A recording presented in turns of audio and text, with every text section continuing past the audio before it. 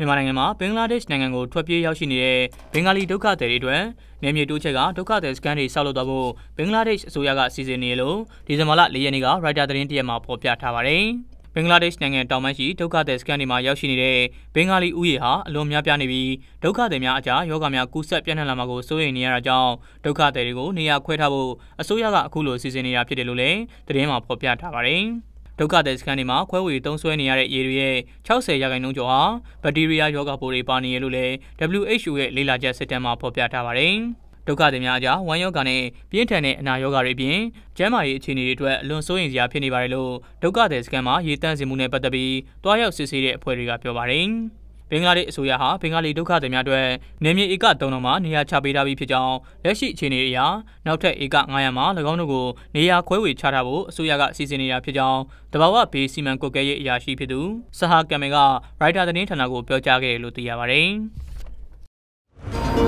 ။